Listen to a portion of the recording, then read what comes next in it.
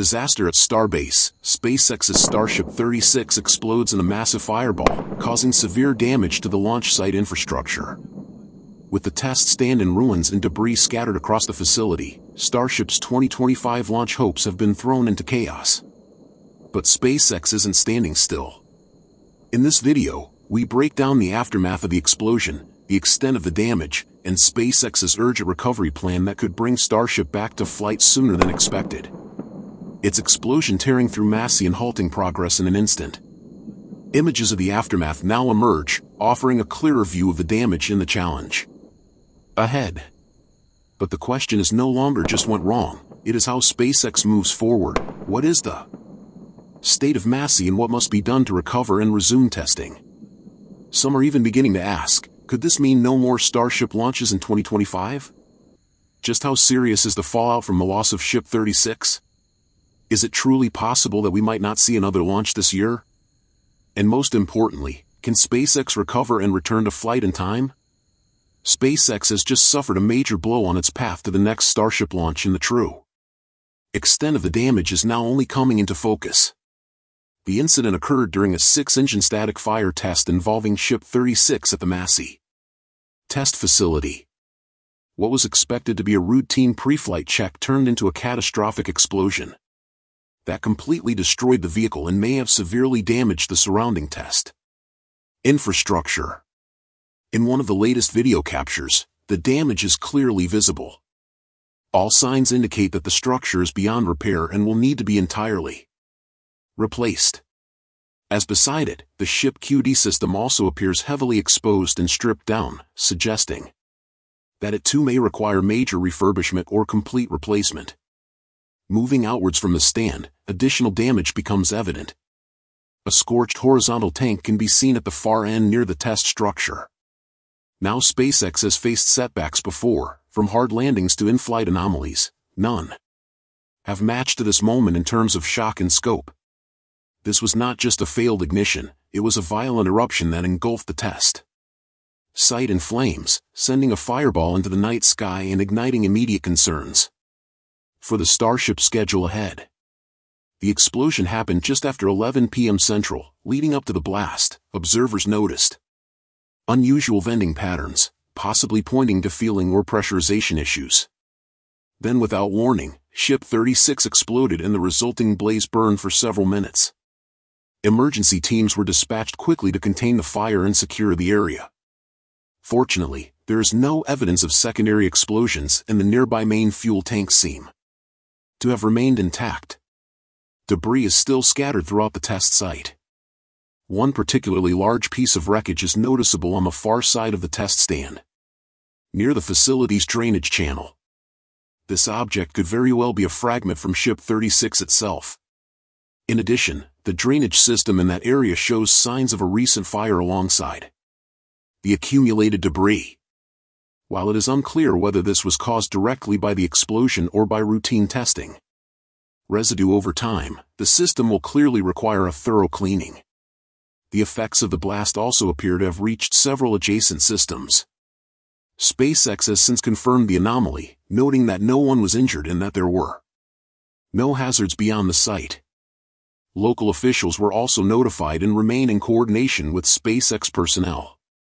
However, the company has yet to release a cause for the failure. Current speculation suggests a possible methane or oxygen leak that may have ignited due to heat, pressure, or a faulty connection. Given the volatile nature of Starship's propellants, even a small flaw in a valve or seal can trigger catastrophic results.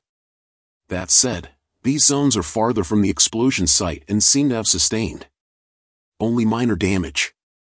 On the opposite side of the facility, which houses a large number of horizontal fuel tanks, the systems appear to have been spared entirely and remain in good condition. Cleanup operations have already begun. While the damage is substantial, SpaceX is clearly moving quickly to assess, clean, and begin the process of rebuilding the Massey test site. The next phase in the aftermath of the Ship 36 incident will focus on cleanup, refurbishment, and finding workable solutions to resume operations. However, one major question now looms, what will SpaceX do about the critical systems that were damaged or destroyed during the explosion? Fortunately, SpaceX has considerable experience laying down such infrastructure, and based on previous repair timelines, this could potentially be completed within a few weeks if prioritized. It is obvious from recent imagery that the stand is beyond repair and will need to be replaced entirely. The new stand does not need to replicate the exact design of the previous one, but it must integrate with the rest of the test system and support the same operational requirements. As for the ShipQD system, there are rumors that SpaceX maintains at least one backup.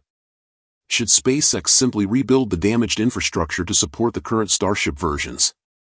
Or should it take this opportunity to begin transitioning to the newer version known as Starship V3? At first glance, rebuilding the old test system seems logical. It'd allow SpaceX to continue testing and launching the remaining V2 prototypes, which include Booster 15, 16, and 17, along with Ship 37, 38, these vehicles are still viable and waiting for their turn in the launch queue. Rebuilding the test infrastructure for these existing vehicles would seem to offer the quickest path back to flight. The destruction of Ship 36 is a major blow to the flight timeline, as 36 had been assigned. To carry out the highly anticipated Flight 10, with it now lost, SpaceX must pivot quickly. Most likely turning to Ship 37 as a replacement but as 37 has yet to complete critical tests, and with Massey damage, it is unclear when full-scale testing can resume. But that solution may only be a temporary fix. When we take a closer look at the long-term strategy, several issues emerge. The number of remaining V2 prototypes is small. Rebuilding an entire test system for just a few remaining flights may not be the most efficient use of resources. That makes backups limited, and using the one remaining unit could jeopardize progress. In Mega Bay 2 or other facilities. This brings us to a bold but promising option. Building a brand new test infrastructure specifically tailored to support Starship V3. Yes, making this shift would mean skipping the few remaining V2 vehicles, which could be seen as wasteful. But in return, SpaceX would gain a robust system designed to support the next chapter of Starship development. Starship V3 promises a major leap forward. This version includes a wide range of improvements across systems. The upgraded Raptor 3 engines, for example, are expected to offer significantly higher thrust while being simpler and more reliable. These changes aim to increase performance, enhance safety, and reduce complexity across the board. Starship V3 will also be larger and more capable, making it a more suitable platform for critical missions such as in-space refueling, lunar landings, and even crewed Mars missions. And finally, they must prepare and qualify an entirely new vehicle for flight. That means more tanking tests, engine verifications, and another static fire all before even thinking about launch. This setback comes just days after the FAA officially listed June 29th and the 30th as target windows for Flight 10. A launch on either of those dates would have broken SpaceX's record for the fastest turnaround. Between Starship missions, clocking in at just 33 or 34 days since Flight 9. That milestone now appears out of reach. Booster 16 is still progressing on schedule, its hot staging ring has been installed, and flight hardware preparations are nearly complete. But without a validated ship to pair it with, it too must wait.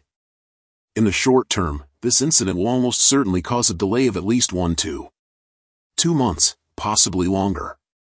That depends on how fast the Massey site can be brought back online and how quickly Ship 37 can be verified for flight.